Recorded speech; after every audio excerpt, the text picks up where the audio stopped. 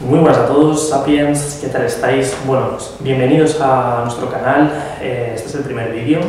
¿Y de qué va a tratar nuestro, nuestro canal? Pues eh, sencillamente pues, va a tratar sobre, vamos a hablar sobre ciencia, sobre historia y sobre el espacio, ¿no? que también eh, cabría en el tema de la ciencia. ¿no? Antes de nada, bienvenidos a todos, ¿vale? Este también es vuestro canal y también podéis poner en la caja de comentarios vuestras preguntas, ideas sobre otros próximos vídeos y lo que os ha parecido, ¿vale?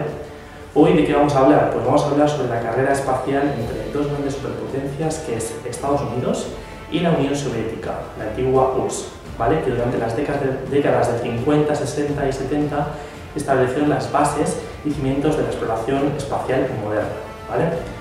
Pues supuso un esfuerzo para ambos países dado que bueno, estaban motivados por la gran competitividad ¿no? que siempre ha habido en estas, eh, estas dos superpotencias. ¿no?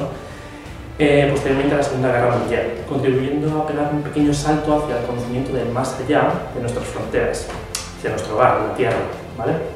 enviando satélites artificiales, uh, animales, uh, humanos, ¿vale? y finalmente logrando el hito que se logró en 1969 de pisar la superficie de nuestra compañera de viaje durante tantos siglos, la Luna. ¿no? ¡Ay, la Luna! Joven impasible, a la que acontece a su hermana, a nuestro hogar, la Tierra. Como diría Carl Sagan, ese pequeño punto azul pálido.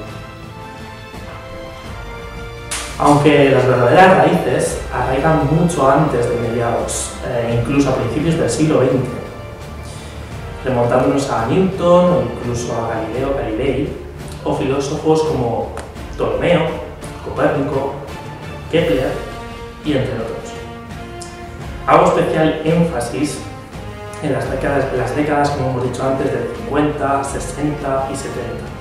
¿vale? Pues a mi juicio, si tuviera, se consigue dar el salto experimental fuera de los límites de la humanidad. Durante tantos siglos de existencia, la emancipación definitiva de nuestra especie. Como mencionaba anteriormente, las tensiones internacionales que prosiguieron la Segunda Guerra Mundial aceleraron la carrera espacial, ¿vale? marcada por el acontecimiento del lanzamiento soviético del Sputnik, el Sputnik 1, el 4 de octubre de 1957, carrera que evolucionaba paralelamente a la carrera armamentística, dado su elevado interés militar que dio popularidad a la famosa Guerra Fría. Una de las grandes incógnitas sería ¿qué hubiera pasado si el homónimo soviético Werner von Braun, Sergei Korolev, no hubiera fallecido en 1966, antes que los americanos pisaran la superficie lunar en 1969? ¿Habría cambiado la historia? ¿Sería la URSS la primera potencia en pisar la luna? ¿Fue la muerte de Sergei Korolev ¿Realmente una muerte natural? ¿O fue asesinado? ¿Qué hubiera pasado si los nazis hubieran ganado la Segunda Guerra Mundial? No olvidemos de la astucia de, Estados Unidos para coger en su regazo al gran Warner Braun, que llegó a conseguir el hito de llegar a la Luna gracias al cohete V2, su predecesor, el V1.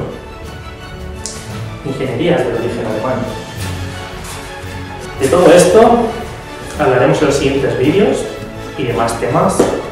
Y bueno, como ya he dicho antes, me gustaría, os gustaría a todos los que estamos detrás de este canal ver vuestros comentarios que están aquí, ¿vale? Aquí abajo, estoy marcando, y poner vuestras preguntas, lo que queráis, ¿vale? ¿Qué os ha parecido el vídeo?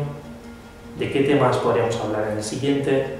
Y nosotros intentaremos contestarlas eh, con la mayor antelación posible en el siguiente vídeo, ¿vale? Y nada chicos, pues espero que os haya gustado. No olvidéis darle like al vídeo, suscribiros a este canal, que seríais muy felices. Y nada, nos vemos en el siguiente vídeo. Un saludo. Hasta luego, sapiens.